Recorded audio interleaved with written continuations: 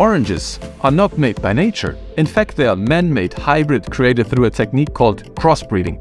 Same as you compare a Labrador with a poodle to get a Labradoodle, combining the best of both, I guess. The Chinese figured out some 2000 years ago that if they take small sweet mandarins and give them some sexy time with big but bitter pomelos, you'll end up with big and sweet